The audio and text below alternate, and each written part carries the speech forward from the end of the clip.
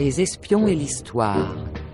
Une émission de Madeleine Ricot, réalisée par Evelyne Frémy.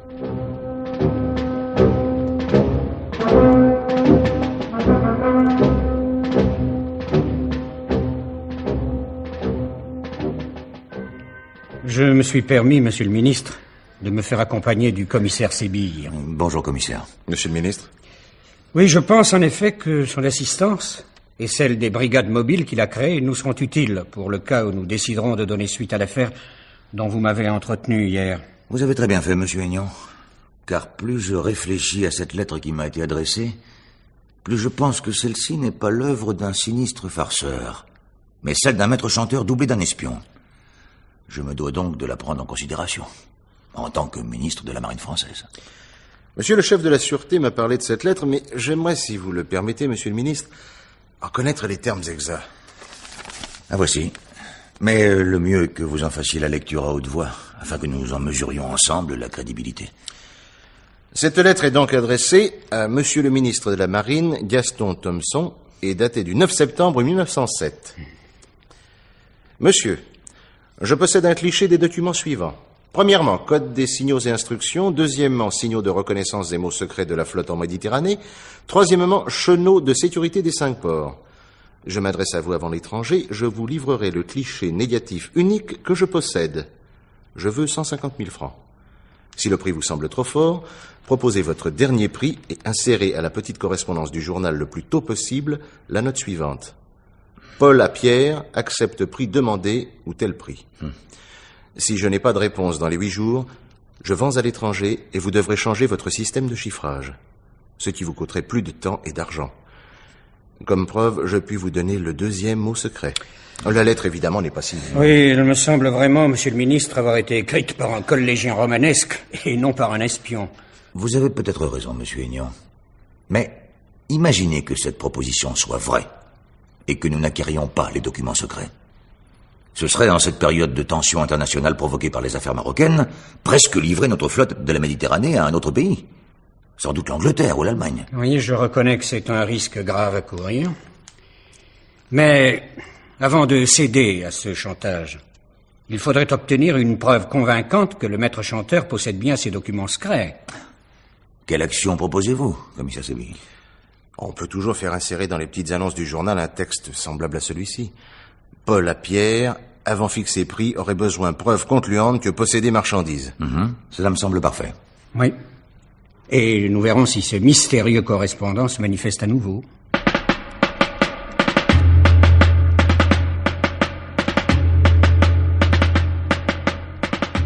Veuillez écouter aujourd'hui L'affaire Ulmo, une pauvre histoire, avec Sylvain Joubert et la participation de Rolf Lemoine.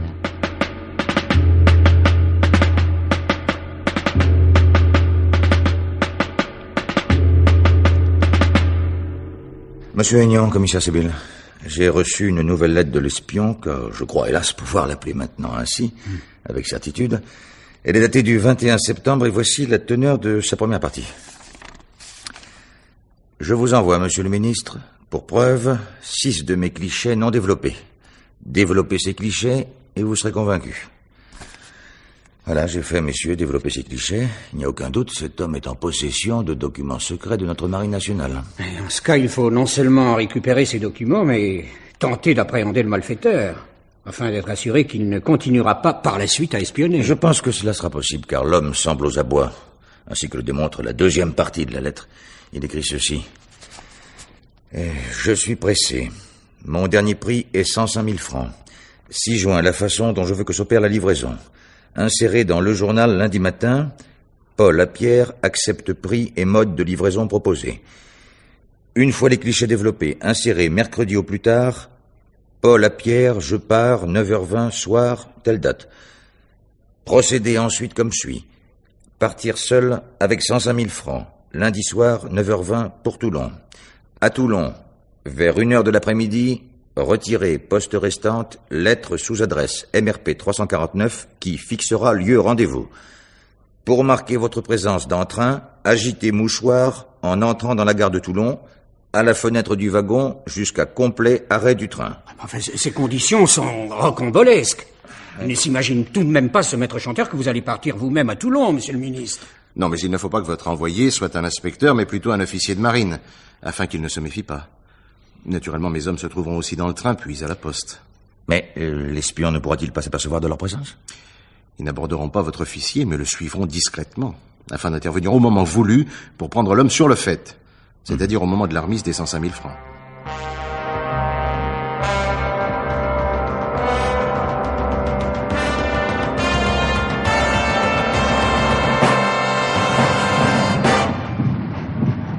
En somme, le lieutenant de vaisseau Chardon et nous, à sa suite, nous n'aurons fait qu'un voyage éclair à Toulon, puisque nous voilà à nouveau dans le train en direction de Paris.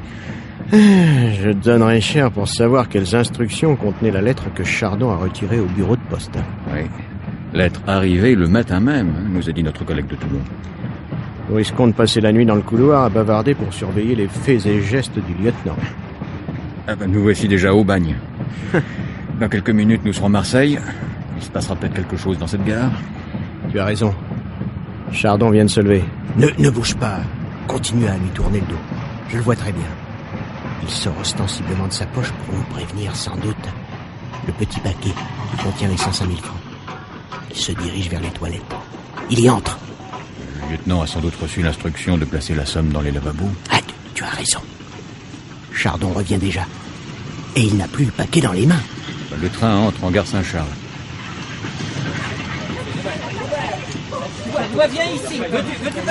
Le lieutenant descend.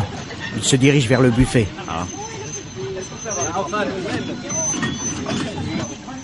Pardon, pardon, messieurs, y a-t-il une place de libre dans ce compartiment Ah, je ne sais pas. Bah, voyez vous-même. Quoi de neuf? Chardon a mis l'argent dans les toilettes.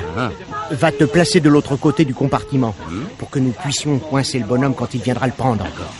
Eh, Excusez-moi, je vois que le compartiment est complet. Bon sang, ça y est quoi. Un homme distingué vient d'entrer dans les toilettes. Préparons-nous pour lui foncer dessus dès qu'il en sortira. Oh, mais, mais enfin, messieurs, comme voulez-vous Vous arrêtez pour espionnage. Un espion, moi Vous devez vous tromper, je suis consul de France en Russie. Voici mes papiers. Le, mais le paquet n'est pas sur lui. Mais non Il est là, intact, dans l'armoire, sous la cuvette des lavabos. Oh, Excusez-nous, monsieur. Monsieur le consul, il nous reste à vous présenter toutes nos excuses. Il s'agit effectivement d'un regrettable malentendu. Je me plaindrai au chef de la sûreté, messieurs, soyez-en sûrs. Je ne vous fais pas compliment de votre flair.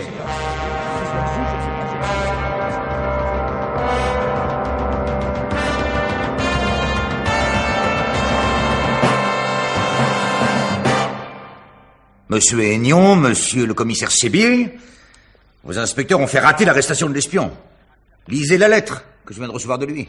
Vous permettez, monsieur le ministre Vous avez voulu des garanties, je vous les ai données, et je le regrette. Un peu avant Arles, je suis entré dans le lavabo que j'avais désigné, je n'ai rien trouvé. Vous le regretterez aussi. Un grand événement s'accomplira contre la marine et vous-même. Cela veut dire qu'il va livrer ses documents à l'étranger. Bon, cela m'étonnerait, il n'aurait pas pris la peine de vous écrire. Oui, Sébi a raison, il faut reprendre contact avec l'homme. Mais comment? Par les petites annonces du journal. Oh. Insérons-en aussi dans la République du Var, car l'espion semble résider à Toulon. Hum Et que proposez-vous de faire insérer? Ceci, monsieur le ministre. Paul à Pierre, télégraphié conditions imposées, toujours disposé vers ses prix contre livraison complète marchandise. Ceci me semble insuffisant. L'homme risque d'échapper une fois de plus. Il faut avoir avec lui un contact direct et compléter le texte que vous venez de nous donner, monsieur le chef de la sûreté, par une insertion telle que celle-ci. Indispensable nous rencontrer pour livraison marchandises et paiement, fixer date et endroit. Euh, S'il répond à ces annonces, notre homme sera bien nigaud, ce me semble. N'importe qui peut deviner un piège. Il se croit peut-être suffisamment intelligent pour le déjouer. Mais ma fréquentation des malfaiteurs me permet d'affirmer qu'ils s'abusent beaucoup sur leurs capacités. Bien, souhaitons que votre expérience vous fasse deviner juste.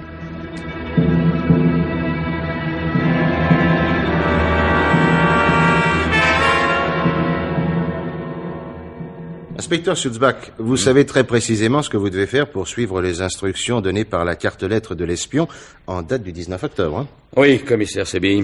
Je dois prendre le train du midi, le 22 octobre, à 9h20 du soir. Me rendre à la descente du train au Grand Hôtel à Toulon, m'y inscrire sous le nom de Barreau et y attendre la communication téléphonique qui doit, vers une heure de l'après-midi, me dire sous quelles initiales je retirerai une lettre poste restante. Pour ce faire, je devrais arborer des marguerites à la boutonnière. Je pense que notre individu ne doit pas être très au courant de la botanique. Hein.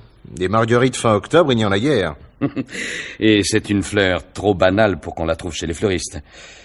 Il m'a fallu en acheter d'artificiels. Hum, ben, vous serez regardé dans les rues de Toulon avec cette boutonnière, n'en soyez pas surpris, mon pauvre Sulzbach. enfin, dès que vous aurez lu cette lettre, essayez de prévenir votre collègue Sienitsky. Hein. Il se tiendra toujours non loin de vous. Euh, prévenez-le de l'endroit du rendez-vous qui, si je me rapporte à cette carte-lettre, sera choisi à 10 kilomètres environ de Toulon en lieu découvert pour éviter un guet-apens. Je ferai l'impossible pour avertir le plus discrètement possible Sienitsky. Sinon, je tenterai d'arrêter l'homme tout seul.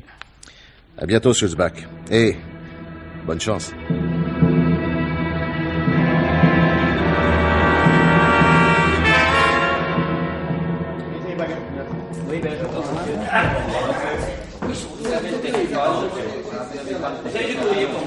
Monsieur Barrault, je crois. Oui Qu'y a-t-il, portier? Ah, voici une lettre que l'on m'a chargé de vous remettre quand vous sortirez de l'hôtel. Quand l'a-t-on apporté Eh, À l'instant. Et qui l'a apporté Un gamin qui est reparti aussitôt. Bien, merci.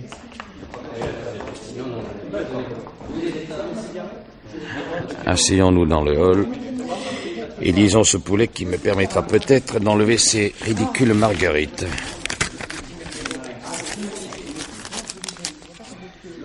Prenez un taxi rue Racine, côté ouest du théâtre. Faites-vous aussitôt mener à Olioul et là, prenez la route des gorges. Au kilomètre 20, renvoyez la voiture vous attendre à Olioul et continuez à pied jusqu'au kilomètre 19 200. Là, attendez-moi, je viendrai à motocyclette ou à pied. Tâchez d'être au rendez-vous vers 3 heures. Vous repartirez pour Paris à 6 heures. Tenez parole, soyez seul et ne faites rien pour m'attraper. Bien. Essayons de prévenir Sienitsky. Où est-il? Ah, près de la porte d'entrée de l'hôtel. Il regarde les programmes du théâtre. Je vais pouvoir le frôler en sortant. Hé, Sienitsky. Rendez-vous Gorge d'Olioul, kilomètre 20.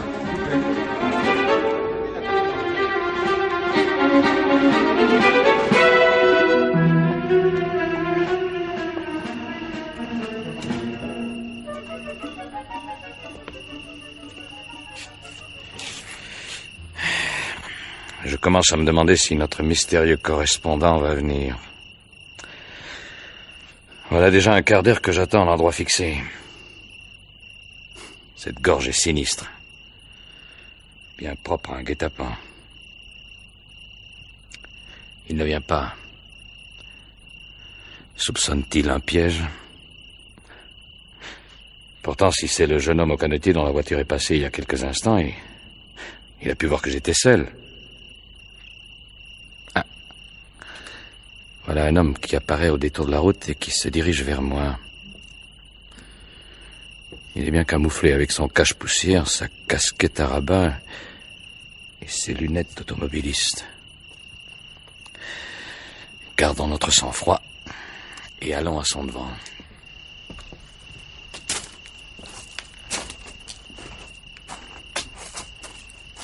Êtes-vous Pierre? Je suis Paul. Je suis Pierre. Voici la somme. Vous avez des clichés? Oui. Je lève les bras en l'air pour que vous constatiez que je ne suis pas armé. Je pense que vous ne l'êtes pas non plus. N'avancez pas, sinon je tire. Passez-moi votre enveloppe.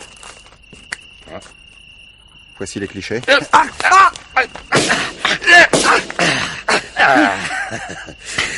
Votre revolver m'aura au moins servi à appeler mes collègues qui doivent se trouver dans les rochers alentours. Oui. Et je me présente. Inspecteur Sulzbach. Mais vous, qui êtes-vous Enlevez ces grosses lunettes qui vous masquent le visage. Mais vous êtes tout jeune. Oui, j'ai 25 ans. Ne seriez-vous pas un officier de marine Oui, Je suis enseigne de vaisseau à bord du contre-torpilleur La Carabine. J'ai trahi, laissez-moi me tuer Allez, tendez-moi vos poignets, monsieur l'espion, que je vous passe les menottes. Ah, Nitsky, je pensais bien que vous étiez dans les parages. Le commissaire Sebi, il arrive. Il n'est pas fort comme alpiniste. pas vrai, commissaire ah, Ces rochers sont un peu abrupts pour mes jambes. Félicitations, inspecteur Schulzbach. Vous avez bien manœuvré. Auriez-vous oublié, commissaire Sebi, que je suis un ancien champion de boxe? Ça n'a pas été difficile de désarmer ce blanc-bec. Il ne nous reste plus qu'à l'emmener dans sa propre voiture. À Toulon, au juge d'instruction l'aider. Il saura lui faire dire pourquoi un officier de marine est devenu un lamentable espion. Allez, en route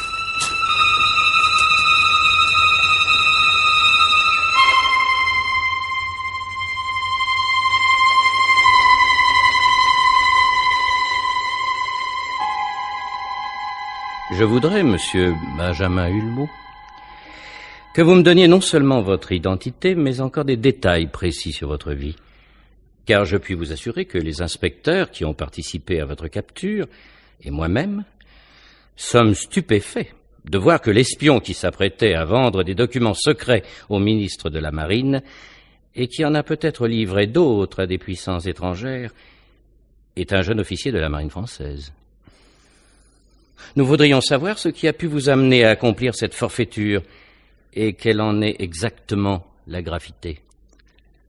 Euh, je suis à votre disposition, monsieur le juge d'instruction, mais je vous assure que je n'ai pas offert ces documents à une puissance étrangère. Nous ferons les vérifications nécessaires. Maintenant, répondez à mes questions. Vous êtes né le Le 17 euh, février 1882, à Lyon, où mon père était industriel tanneur. Était? Il ne l'est plus Non, euh, il est mort il y a deux ans. Quelles sont les raisons qui vous ont amené à ne pas exercer la profession de votre père, mais à embrasser la carrière militaire navale? Euh, J'étais doué pour les mathématiques et les sciences, euh, et j'étais passionné par les récits d'aventure et de voyage. Pierre Loti était mon auteur favori. Vous êtes donc présenté à l'école navale? Oui, j'ai été reçu troisième. J'étais le plus jeune de ma promotion. Vous rendez-vous compte que ce début laissait bien présager de votre avenir? Oui, mais j'ai été très malheureux au Borda. Vous étiez déçu? Vous pensiez que vous aviez mal orienté votre vie? Non. Mais j'étais l'objet de brimades de mes camarades. Pourquoi? Oh, ben parce que j'étais israélite et qu'à cette époque, le capitaine Dreyfus repassait pour la deuxième fois en conseil de guerre. Je comprends. Mais vous avez pourtant continué. Oui. Mais je garde un affreux souvenir de ces deux années de Borda.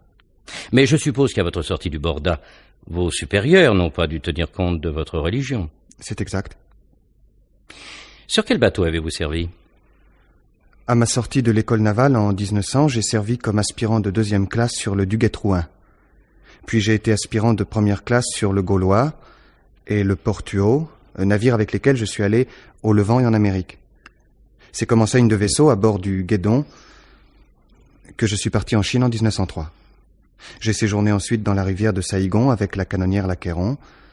Et à la fin de 1905, je fus affecté au Gaulois, puis en 1906, attaché au contre-torpilleur La Carabine en rade de Toulon, que j'ai quitté le 21 octobre, soit deux jours avant mon arrestation, après avoir obtenu un congé de deux mois pour subir un traitement.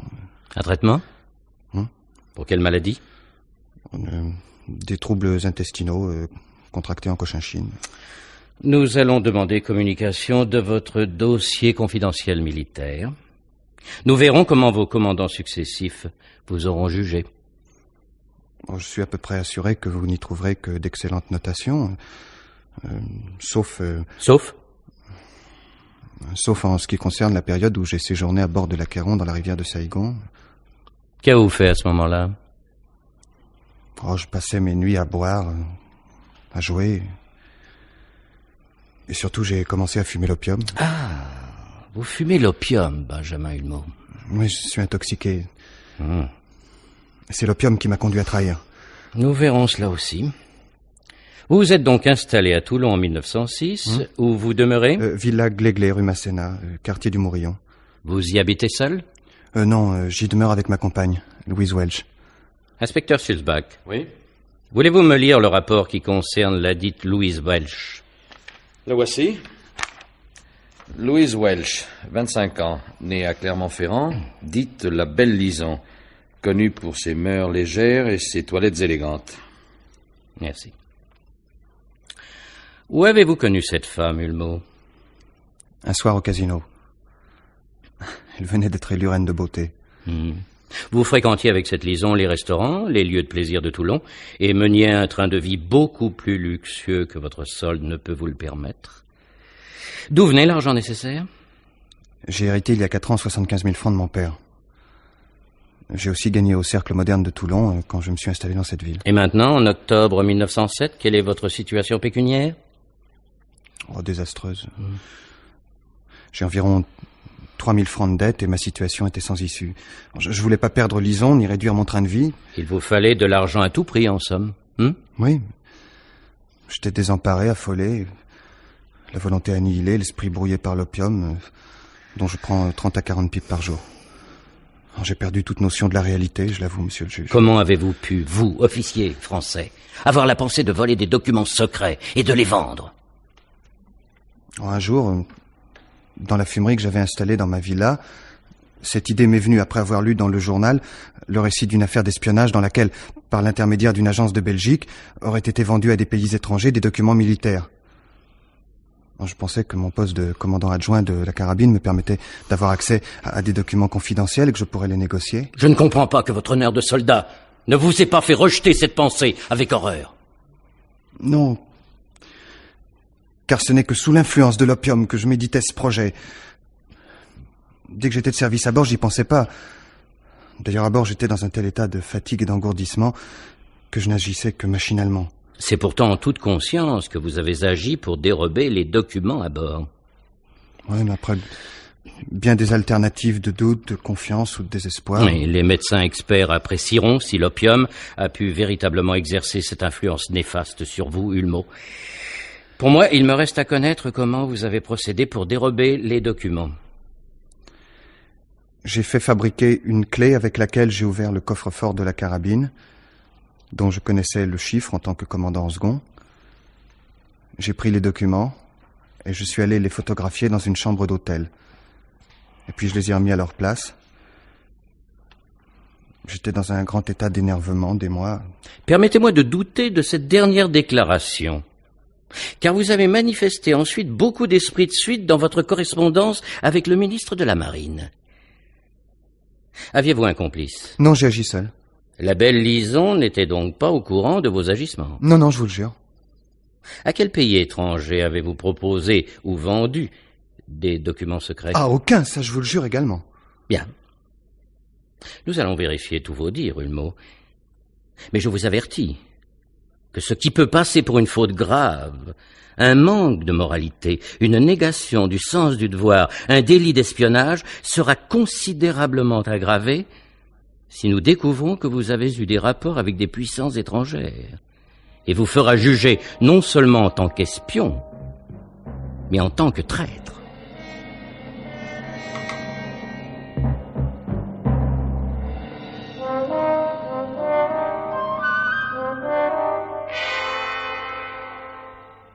Eh bien, commissaire Sébi, et vous, inspecteur Sulzbach, quels sont les résultats de vos vérifications?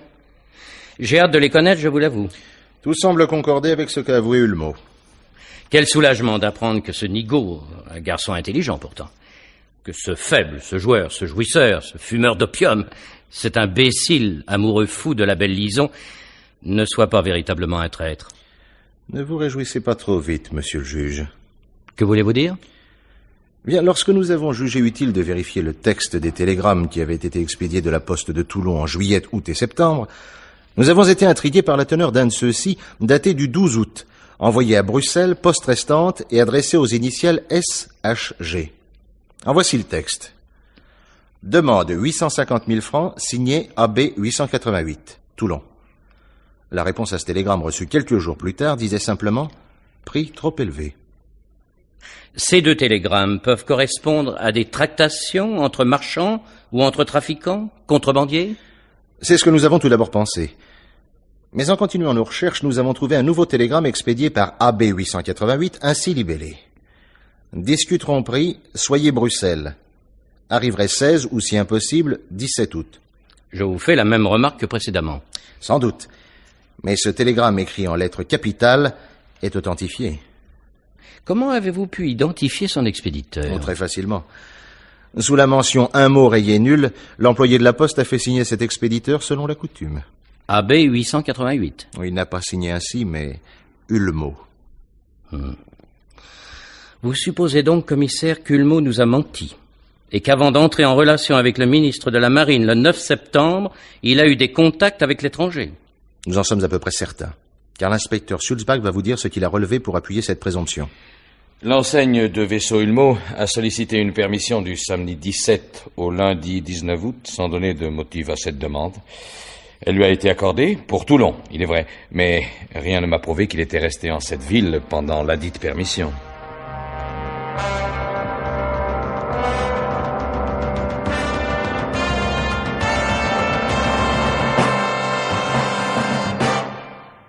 Je vois qu'il me faut tout avouer.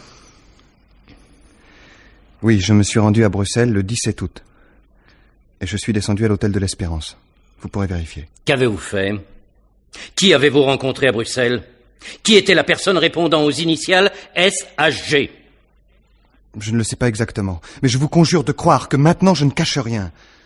Je, veux vous prouver que je n'ai rien livré. Cette preuve me semble difficile à établir. Bon, je reconnais que j'ai pris contact avec un représentant de... Euh, de l'Allemagne. À la suite de quoi on m'a informé d'avoir rencontré un certain monsieur Talbot, descendu à l'hôtel de l'Univers et de Suède, à Bruxelles. Cette rencontre a eu lieu dans la chambre de Talbot le 17 août, et voici quelles paroles nous avons échangées. Avez-vous les documents secrets que vous proposez? Oui, voici les livrets de signaux et de phares secrets de la flotte française en Méditerranée. Oh, ceci ne nous intéresse pas. Mais nous serions acheteurs de plans de sous-marins. Ah, il ne m'est pas possible d'obtenir ces plans. Ah, en ce cas, nous ne pouvons faire affaire ensemble. Alors vraiment, vous ne voulez pas ces documents-ci? Hmm, Non, je ne donnerai pas de sous. Nous possédons ces secrets depuis longtemps.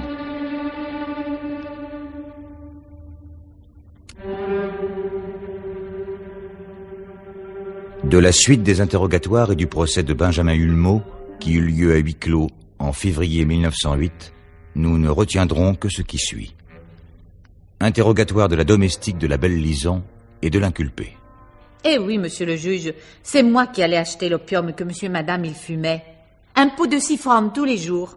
Ah, mais monsieur, il allait aussi de son côté chez le chinois. Il y achetait d'autres pots, euh, parce que, que je vous dise, en faisant le ménage, eh ben, je trouvais souvent deux pots vides. Euh, donnez-moi un complément d'information, inspecteur Sulzbach, je vous prie. Le chinois est un marchand de la rue Hoche, ainsi appelé parce qu'il vend de l'opium chinois dit de Shanghai, en boîte ronde de porcelaine pesant 11 grammes. Rapport des experts, les docteurs Raymond, Courtois et Dupré, commis par le juge d'instruction Lédé, à examiner l'inculpé Hulmeau, à la demande de celui-ci, afin de déterminer si la dépression morale et les actes qui en ont découlé sont consécutifs à un usage excessif et prolongé de l'opium. Premièrement, Hulmeau a pris l'habitude depuis plusieurs années de fumer l'opium à dose moyenne, 30 à 40 pipes par jour. Cette habitude a déterminé chez lui une intoxication légère dans son degré et bénigne dans ses conséquences. En effet, à l'occasion, par exemple, des manœuvres de la flotte, il a suffi de quelques jours de privation d'opium pour amener, sans phénomène marqué d'abstinence, le sevrage de l'organisme et la guérison de l'intoxication. De plus, la santé générale de l'accusé est excellente et nous n'avons pu relever chez lui, moins d'un mois après la cessation du poison, aucun symptôme physique ou psychique d'intoxication par l'opium. Deuxièmement, l'opiomanie n'a donc pu oblitérer chez Hulmeau la notion de ses devoirs. L'inculpé a, dans la préparation et l'accomplissement de ses desseins criminels, agi avec lucidité et conscience. Troisièmement, L'opium a pu toutefois diminuer l'énergie et affaiblir le courage de l'officier euh, lorsqu'il s'est agi pour lui de restreindre ses dépenses et de renoncer à son genre de vie. Quatrièmement, le déterminisme des actes criminels de l'inculpé s'éclaire par la simple psychologie du mot.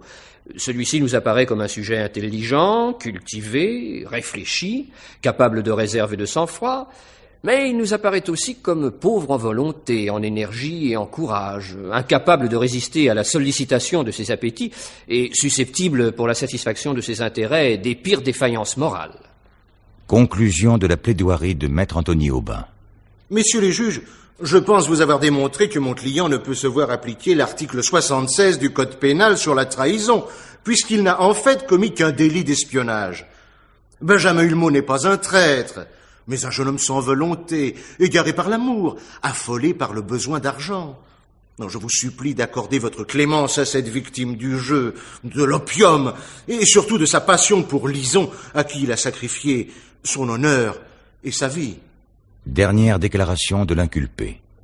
Je voudrais relever la déclaration du commissaire du gouvernement, par laquelle il a affirmé qu'en cas de guerre, par ma faute, nous nous trouverions en état d'infériorité. Je suis tombé bien bas, mais il y a des choses que je ne puis laisser dire. Je vous regarde en face, commandant. Eh bien, il faut que vous ne croyiez pas un instant ce que l'on a dit. Je n'ai rien livré, absolument rien. Je suis officier pour la dernière fois. C'est un moment où l'on ne ment pas. Et je vous répète, je n'ai rien livré. Je vous jure que je n'ai rien livré. Parce que je ne l'ai pas pu. Jugement rendu par le Conseil militaire le 22 février 1908. Le Conseil a répondu oui à l'unanimité sur la question de savoir si Hulmeau a entretenu des intelligences avec l'étranger. Non à l'unanimité sur la question de savoir si ces intelligences ont été suivies d'exécution. Oui à l'unanimité sur la question de savoir si Hulmeau a reproduit des documents secrets intéressant la sécurité de l'État et qui ne devaient pas être entre ses mains. En conséquence, condamne Benjamin Hulmeau à la déportation perpétuelle dans une enceinte fortifiée et à la dégradation militaire. Le 12 juin 1908, sur la place Saint-Roch à Toulon, Benjamin Hulmeau subissait la dégradation militaire. On rapporte qu'il semblait absent et paraissait sourd aux cris et aux menaces lancées par la foule. La belle Lison montra moins de dignité en s'exhibant dans un music hall de la rue Billot à Paris, dans une pièce intitulée Fumerie d'opium. Exhibition de courte durée car l'indignation populaire fit retirer rapidement la pièce de l'affiche. Et nul n'entendit plus parler de celle qui avait provoqué cette chanson sur l'air de J'ai tant pleuré pour toi. Si j'ai trahi pour toi, par amour pour ton corps de déesse, si j'ai brisé ma vie au lison, aux fameux que j'aime, je suis heureux quand même, car je souffre pour toi. En 1922, le grand reporter Albert Londres, enquêtant au bagne de Cayenne, rencontra un employé d'un comptoir d'import-export, jeune encore, maigre et vêtu d'un pauvre habit de coutil noir, qu'il put interroger dans la réserve de la boutique. Je viens vous voir pour rien, pour causer. Vous pouvez peut-être avoir quelque chose à me dire, Hulmeau. Oh non. Je ne demande que le silence. Et sur vos quinze années à l'île du diable? Il y a deux points de vue. Celui du condamné et celui de la société. Voyez-vous, ce ne sont pas les hommes, mais les textes qui sont les plus redoutables. Plus ils viennent de haut et de loin, plus ils s'éloignent de l'humanité. J'ai expié. Je me suis fait un point d'honneur de ne pas mériter en quinze ans une seule punition. C'était difficile. J'ai trahi, j'ai voulu payer proprement. Et vous êtes resté huit ans tout seul? Oui, tout seul. Il n'y avait vraiment personne? Hum, Si. Des cocotiers. Et vous logiez dans la case en haut? Non, pas tout de suite. Je suis resté un an dans l'ancienne case de Dreyfus face à la mer. Le tintamarre infernal des lames ne vous a pas rendu sourd? Non. Hum. Mais je connaissais tous les requins.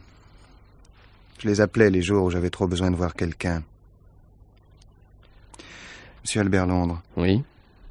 Je voudrais seulement savoir s'il en a parlé en France de mon transfert de l'île du Diable à Cayenne, où j'ai eu l'autorisation de travailler. Oui, beaucoup. Ah. J'ai jamais compris quel ragoût avait mon histoire pour le public. N'était qu'une pauvre histoire. Oh, si pauvre. Oui, je suis un traître, mais Ah, ce n'est pas une excuse que je cherche. C'est une vérité que je vais dire. On a été traître comme on a été ivre. Je suis dégrisé, croyez-moi, monsieur.